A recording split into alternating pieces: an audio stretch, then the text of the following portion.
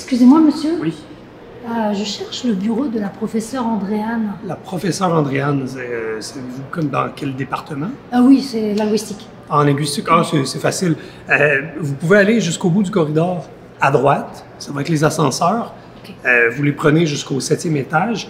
En sortant de l'ascenseur, vous sortez à gauche, à votre gauche. Ok. Euh, Donc, ouais. je vais jusqu'au bout du couloir ici. Mhm. je prends l'ascenseur à droite. Ouais, Je monte jusqu'au septième Ouais. et en sortant, je tourne à gauche. exactement. Puis sinon, si vous voulez une option un peu plus sportive, Pourquoi pas? Ben, c'est ça. Vous pouvez prendre euh, les escaliers. Ok. Euh, même chose, vous montez au- jusqu'au septième. Ça va être indiqué euh, sur le mur.